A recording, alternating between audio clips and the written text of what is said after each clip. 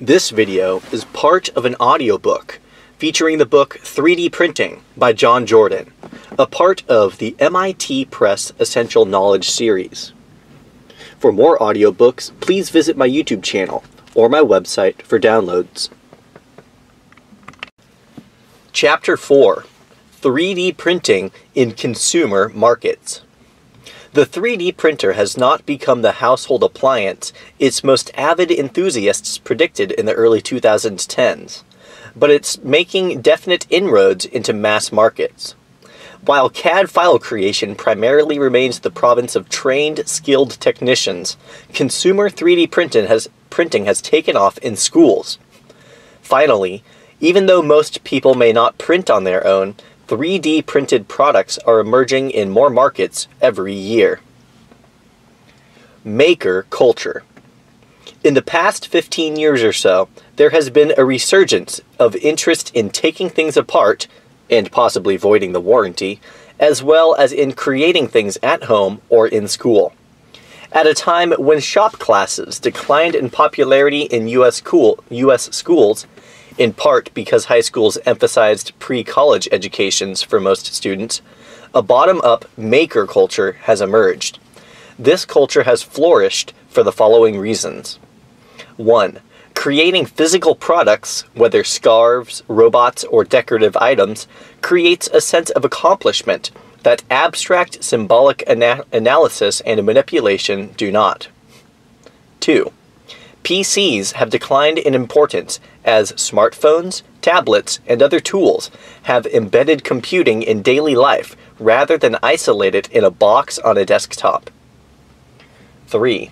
The same impulse that gave rise to hot rodding cars in the 1960s and 70s can find expression not in automobiles, which are much less amenable to hardware modification given the number of embedded computer controlled systems today but in tinkering with drones, home brewing, and even life sciences, as at the DIY biosphere. 4. Crowdsourcing and crowdfunding both enable tool makers to get their creations to market and allow small scale makers to find audiences for unique products, as Etsy. 5. The open source software ethos has influenced many makers to adopt a similar attitude toward hardware designs and knowledge. Readily available plans and advice, often in video form, make it much easier for people to learn new skills or to be inspired by clever thinking. And 6. Physical instantations or instantiations of this culture, whether in maker spaces or at maker fairs, which can draw hundreds of thousands of attendees, contribute to the online vitality of ideas and resources. Dale Dougherty fa- co founded O'Reilly Media, a leading publisher of technical manuals for web and open source software, founded Make Magazine, and launched the Maker Fairs. He speaks of making as an essential human trait. Everyone who cooks, knits, or gardens is a maker, in his view, but there is a historically American variation that emphasized tinkering. While the ability to construct a, house, fix a car, or sew your own clothes was once a necessity, he finds that people are finding their lives enriched by creating something new and learning new skills. While his magazine has helped create the larger movement, maker culture is also a creature of social media. The internet, in turn, spurs people to connect in real life, to see what each other has built, and to learn how they did it. A milestone in desktop 3D printing was the Rep RepRap project.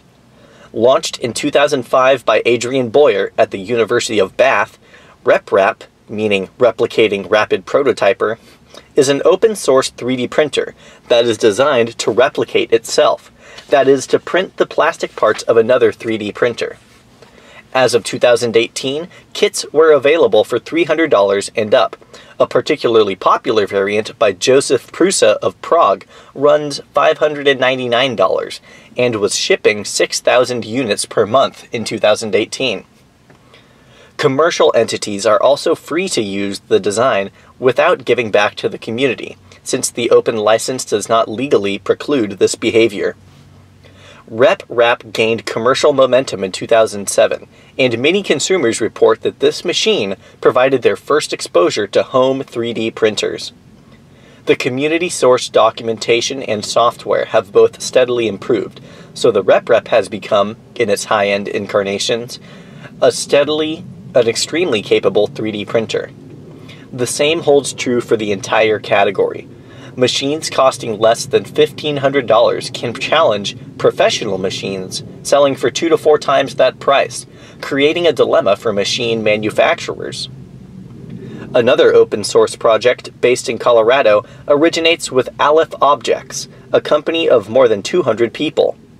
The Lulzbot Taz 6 is priced at $2,500, though a miniature version costs half as much, but is sophisticated enough to be used in engineering applications. The full-size Lulzbot has a larger build volume than most desktop printers, and includes other features aimed at improving reliability and usability. In a market where many manufacturers lock down software or proprietary filament or powder, the Lulzbot runs on open source software that can be modified by the user and will never be locked down by the manufacturer. Nearly 50, 50, 50 different filaments from multiple sources were available on the company's website. Against this broader backdrop, the emergence of low cost, easy to operate 3D printers enables makers to do new things, and it captures sales from individuals, schools, and other shared resources that seek to inspire STEM education and to empower individuals to create more of their own environment. In addition, as people across the world continue to migrate to cities, the lack of garages and basements in apartment and condominium buildings creates the opportunity for shared spaces, such as Tech Shop, to provide access to tools and resources much as a health club sells membership by the month or by the drop-in visit. Science slash technology museums are adopting the same approach for young visitors in some workshops, providing tools, instructions, and open ended encouragement rather than featuring only tightly defined, hands on exhibits that teach a pre specified lesson. This infrastructure, both social and physical, is important. A 3D printer in a home shop or basement is likely to sit idle after the novelty wears off in many households. In a school or makerspace, however, that same printer benefits from the community of makers and learners. In a context of software, measurement instruments, cutting tools, computers, and people with various needs and ideas, the printer is set into a larger creative and productive milieu, where a variety of tools can be utilized in combination to get things done. O'Reilly Media began publishing Make magazine in 2005, and 3D printing has been frequently featured. The most notable example was an Ultimate Guide to 3D Printing in 2012, and the magazine's website is regularly updated with product comparisons, sample projects, and other resources. As of early 2018, more than 40 models had been reviewed, at prices ranging from $350 to $4,000 what are people actually making? No systematic answer appears to emerge from the academic literature. Make magazine suggested more than 100 household items in 2015, though many are of dubious usefulness. In part, this lack of plans reflects the low cost and wide availability of commercial molded plastic items. It will take time for imagination, and to some extent design software, to catch up to the capabilities of the fabrication technology. The Make Magazine survey went room by room through the house. A lemon squeezer or custom cookie cutter for the kitchen, soap dishes or razor holders for the bathroom, lots of plastic game pieces for the rec room, and plastic des desktop organizers for the home office.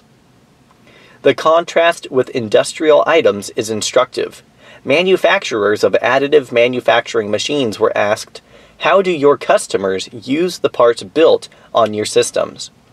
The main answers with percentage of responses. First, functional parts, 33.8%. Prototypes for fit in assembly, 16%. Education slash research, 10.7%. Patterns for metal casing, 8.3%. Patterns for prototype tooling, 7.4%. Tooling components, 7.4%. Visual aids, including designers and medical professionals, 7.3%. And last, presentation models, including architectural, 7.1%. Note that functional parts, where many household items would fit, is a minority of the usage in engineering and related settings. Few households need architectural models, casting molds, or other tooling for mass production. This disconnect might help explain the dramatic slowdown in consumer adoption of 3D printers, and the capital market's disappointment in companies like MakerBot, now owned by Stratasys. These consumer facing companies helped create high expectations in 2014 and 2015, when the promise of mass numbers of home printers drove valuations up to dizzying levels. Now, things are more mundane. John Kawola is North American president for 3D printing company Ultimaker. Regarding the early hype, he made an apt comparison. Saying that there would be 3D printers in every home would be like saying every home has a sewing machine. Just the people who sew have sewing machines. As it turned out, home 3D printers have been purchased by savvy, capable enthusiasts, not the mass market, because it's pretty complicated still to translate vision to reality. There aren't very many, very, very many killer applications for the regular guy to make stuff, Kawola added. One class of home printed items holds great promise broken plastic pieces, whether tent stakes, shower curtain hooks, or knobs. Generating prints of these things requires either a good 3D scanner, currently costing anywhere from less than $100 to more than $50,000, or a digital file from either the original manufacturer or some other source. Intellectual property issues emerge quickly. They will be discussed in Chapter 6 in more detail. Teenage Engineering, a Swedish company that sells inexpensive synthesizers, began offering replacement parts as CAD files in 2012. If the customer lacks a 3D printer, a company called Shapeways will print the file, then mail the output. A survey of consumers by the Get 3D Smart consultancy in 2014 produced some revealing sentiments. Overall, consumer awareness seemed low, which is unsurprising. The biggest group, 49% of those surveys, replied to the question, What about 3D printing seems most interesting? By saying that it helps make products available that might not be otherwise. This is the so called long tail at work. Much as Netflix, in its DVD days, eBay, and YouTube have a small number of hits and vast numbers of niche or zero audience items available, so too do many fans of 3D printing see an escape from retail uniformity that is necessitated by mass production and mass marketing. Customization was listed by about a fifth of respondents. Then 16% noted the ability to watch products being made as being most interesting. 14% cited sustainability. Taken together, these results fit in with a growing resistance to mall based retail, a growing green sensibility, and a desire for uniqueness in one's personal possessions. It will be important to differentiate between consumer demand for 3D printers and for 3D printed goods, whether medical devices, footwear, decorative items, jewelry, or whatever.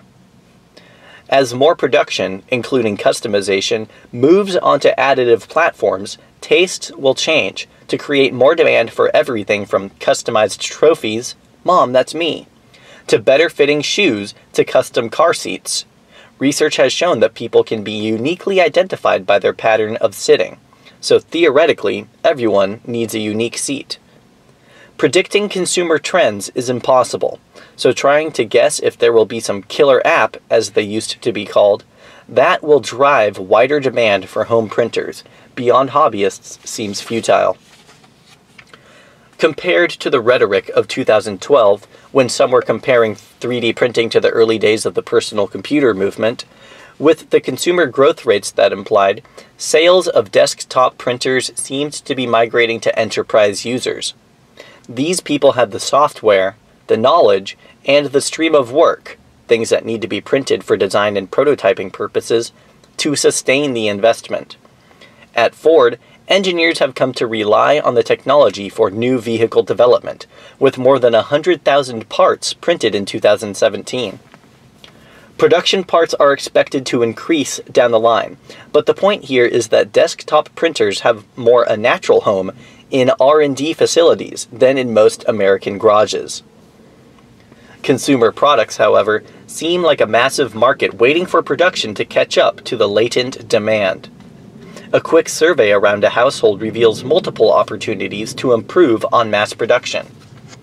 Handles for everything from toothbrushes to kitchen knives could be customized for age, arthritis, physical limitation, including loss of digits, handedness, left versus right, precision, comfort, and other attributes.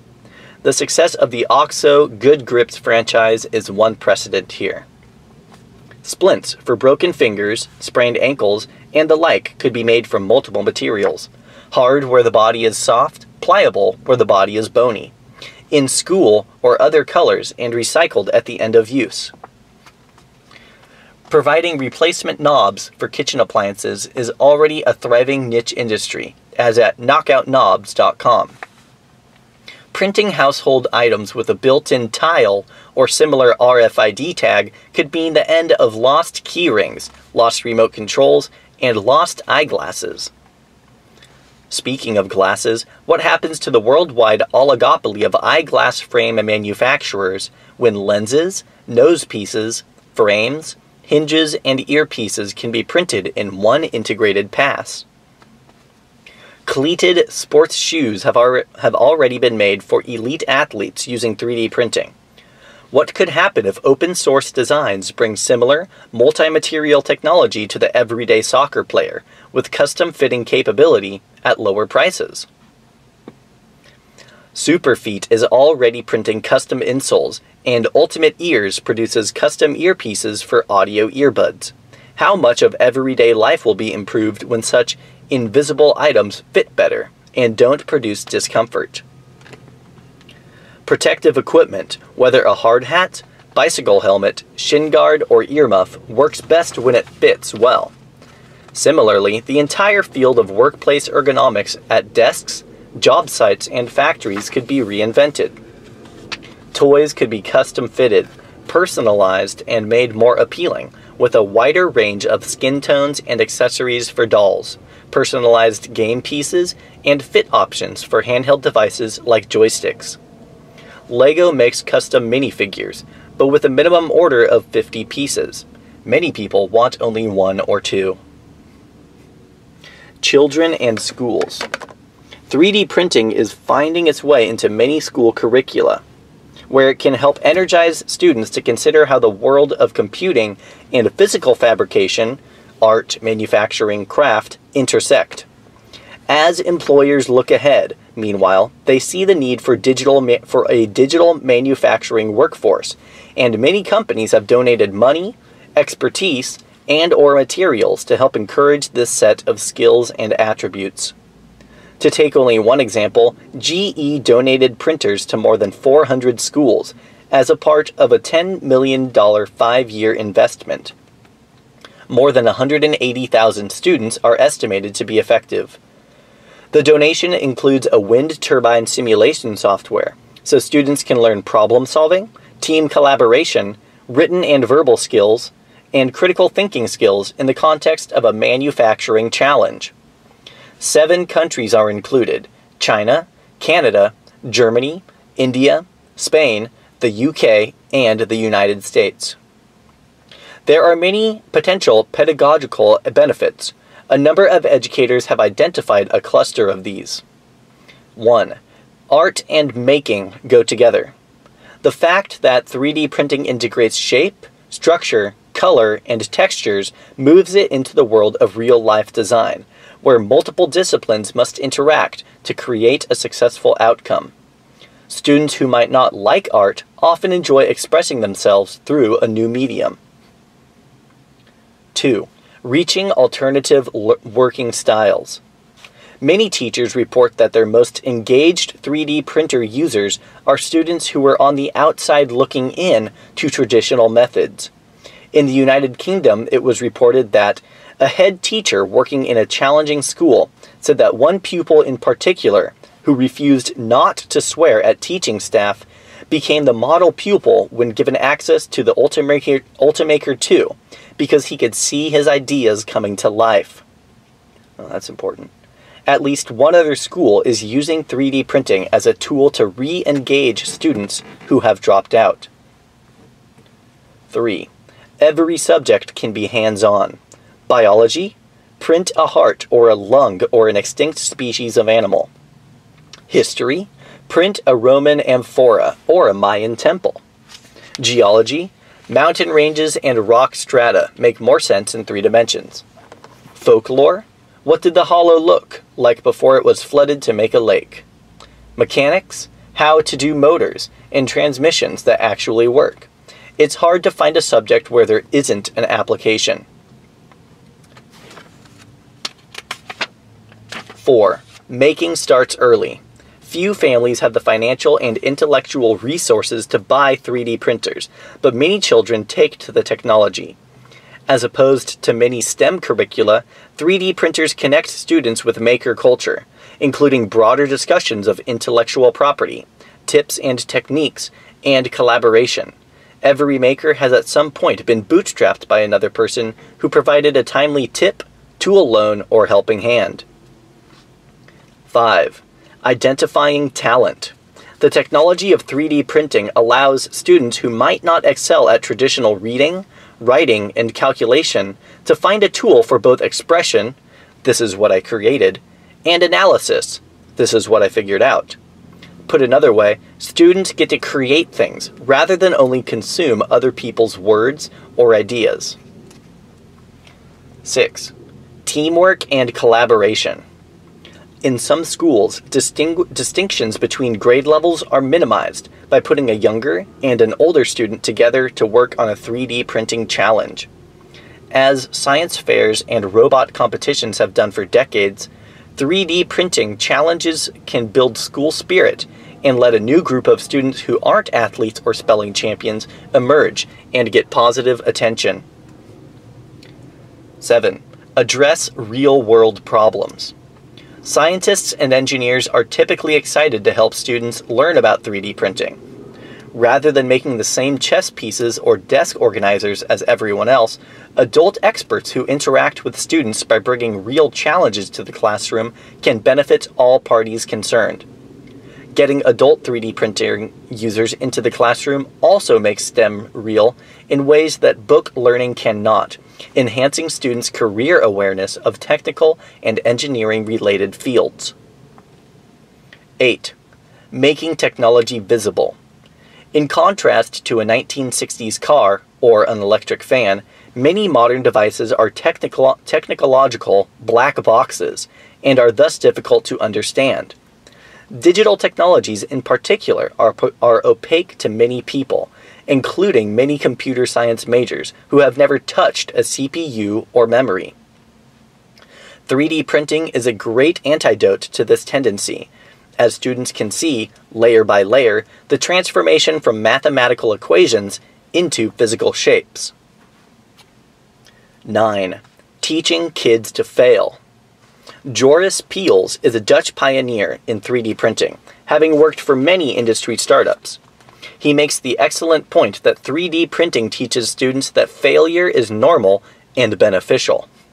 When working with kids or even postgraduate young designers, he writes, I'm often taken aback at just how afraid they are of failing, just how much they seek approval or guidance. In contrast, when I work on designing or making things, I try to fail as hard as I can. This is a key skill. As with any engineering mindset, rarely able to be taught before college, iteration and creative problem solving are their own reward. Peels put it very succinctly. The goal is to learn not to worry, but rather learn to improve.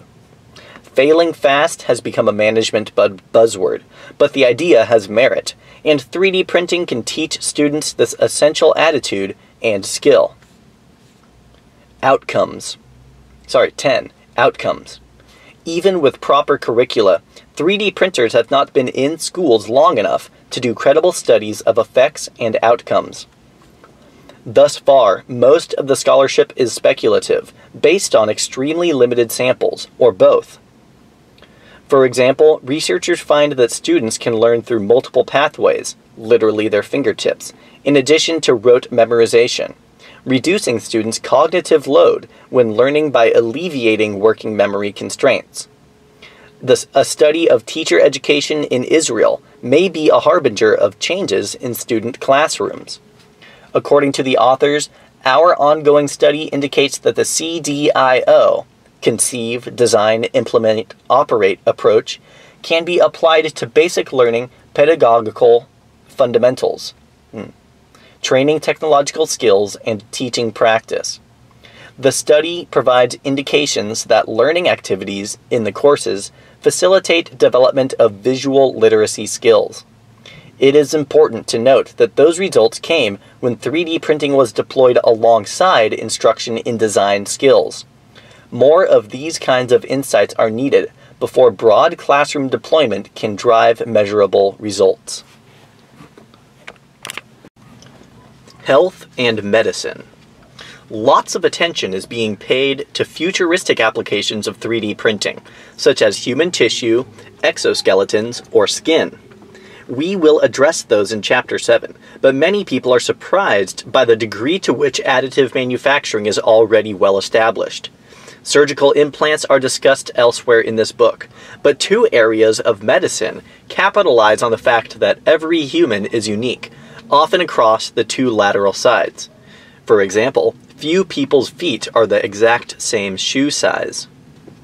Dental clinics are using 3D printing to make implants, whether as small as a single crown or as large as a section of someone's head bones. A key development in this trend is the development of cone beam computed tomography, CBCT, a new imaging technology invented in Italy and commercialized around the year 2000. CBCT facilitates the creation of 3D volumetric models that can be passed to a printer for, for fabrication. The change has been momentous for dental labs, many of which have been moving to China. A skilled artisan can produce about 12 dental crowns in one day. According to EOS, a German manufacturer of 3D printers, their machines can produce up to 450 crowns in that same one day period. In addition, 3D printing frees the skilled prosthetic makers to do other, more involved tasks, such as working with enamel. As a result, many dental offices have installed 3D printers on site, shortening turnaround from weeks, with physical molds and artisanal manufacturing, to a few hours. Additive technologies that create complex structures with little waste are teamed with milling tools that can create high precision connecting surfaces because of the higher strength obtainable from solid pouring, combining the best of both worlds. In addition, some lower cost 3D printing technologies are useful for making guides, prototypes, or splints, as with some forms of orthodontia. In these cases, the material might not be sufficiently strong for implantation, or it may not be suitable for autoclaving and other sterilization techniques. Another major use of additive techniques in dentistry incur, occurs at Invisalign, which is a newcomer to the orthodontic field. The company uses 3D scanning of the mouth to map out a treatment plan, then prints a set a new set of personalized fixtures in which thin plastic is thermoformed over an additively produced base pattern for each patient to swap out about once a week. The clear fixtures are also removable, and so represent an improvement over manually adjusted wires and metal braces. The company prints an average 17 million unique aligners annually, and sales have been growing at a rate of 30% a year, as more dentists get familiar with and trained on the system. Metal capable 3D printing methods are of great interest to dentists. In some cases, printing makes possible the use of hard metals, such as cobalt chrome, that are hard to work with in traditional dental methods, but are desirable for their mechanical and bonding properties. Not being limited to gold gives reconstructive dentists greater design freedom and therefore more clinical flexibility. For all of these advantages, details are still being worked out. What are the practice economics, including insurance reimbursement, of a scanner, a dedicated technician, or a printer, or fleet of printers, in terms of break even point for return on investment? What are the health and safety considerations of powdered plastics and metals, potentially noxious gases produced by heating those powders, and hazardous and or biomedical waste? What are the key customer service, financial, and regulatory considerations of buying the service from a lab versus building capacity internally? These answers will become clearer in the coming years, but dentists will remain in the vanguard of additive technology for the foreseeable future. The other area where 3D printing has been widely adopted is in hearing aids. Just as with dentistry, every fit is a custom one, so the technology makes sense. As of 2013, it was estimated that more than 10 million hearing aids worldwide had been 3D printed. As of 2017, 97% of all hearing aids produced worldwide used 3D printing in their manufacture. Once again, economics drove the transition. Cast molds used to be converted into pageant prostheses by skilled artisans in a nine step process that took more than a week. Compare that to the streamlined path from laser scanning to generate about 10,000 100,000 data points of each unique ear to modeling to printing. A batch of shells can be 3D printed in 2 to 3 hours, often using vat polymerization.